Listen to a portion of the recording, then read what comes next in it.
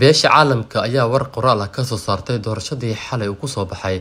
Madaxweyne xasan maxamuud qoraalka ayaa lagu yiri bahda qaramada midoobey ee soomaaliya waxa ay ugu hambalyeyneysaa madaxweyne xasan maxamuud. Doorashada loo doortay madaxweynihii tobanaad ee soomaaliya waxaana ay rajeyneysaa in ay ka shaqeeyaan isaga iyo kooxdiisa horumarinta arrimaha mudnaanta qaranka u leh sida nabadda amniga iyo xasiloonida sanadaha soo socda.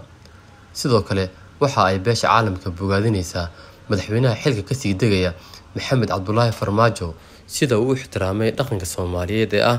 inuu si deg deg a u aqbalo natiijada doorashada islamarkaana uu ballan qaado inuu garab istaagi doono madaxweynaha bedelaya beesha caalamka waxa ay ku ammaaneysaa guddoomiyaasha baarlamaanka soomaaliya iyo ku-xigeenadooda